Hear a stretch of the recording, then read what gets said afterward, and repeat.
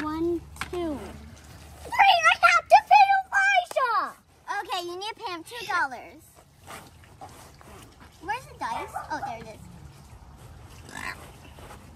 Great! Yes, dollars! Monopoly Junior is perfect for ages 5 and up. It's a fast and simple game and features kid friendly properties. They have the cutest little characters that the kids love to play with and they fit nicely in their hands. The child with the most money at the end wins the game. It's included with instructions to tell you exactly how to play, best strategy, and rules of engagement.